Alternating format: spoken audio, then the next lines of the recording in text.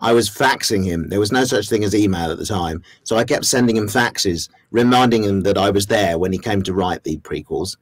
And uh, I think he got so fed up of buying fax paper. Eventually, he agreed to give me a part. I knew exactly what I was going to do and the significance of that character. And it was very, uh, it made it so much easier to, you know, get focused and, and know that every step you take as the character has meaning uh, for the cinema goers. They know exactly what to expect when Chewbacca comes from behind a corner and looks and and uh, you know it's, it's, such a it works every time and it's such a such a magic trick. Um, and I'm wearing these huge boots and trying to like walk around without looking down because we also realize, you know, when you're wearing this mask, any extraneous movement is really distracting.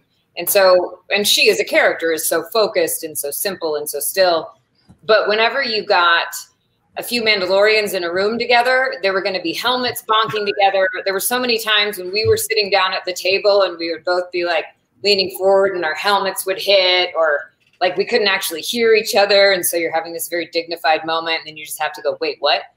Um, I was dropping my tools all the time. Like the the armorer like puts on a really good show, but when she's on her own, sometimes I think she has some some clumsy moments there's a point where the Ewoks set up a tripwire for one of the uh, chicken walkers as it goes past, and the rope kind of catches around the chicken walker's leg, and as he walks, the the line of Ewoks holding onto it gets dragged along.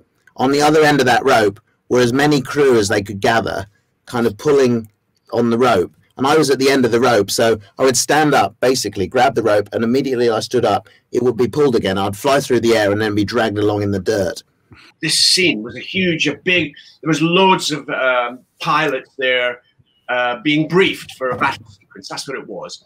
And the character now, some of you may know who this was, and I can't remember. Will look like a large lobster, huge kind of lobster man. Um, and anyway, he was addressing the troops, as it were. Ad- Admiral Ackbar was that character. I think you're right. Right, well done.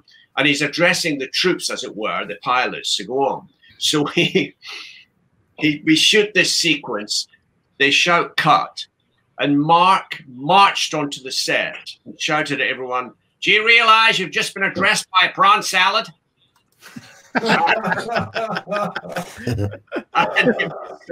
it was so funny. It was just brilliantly funny.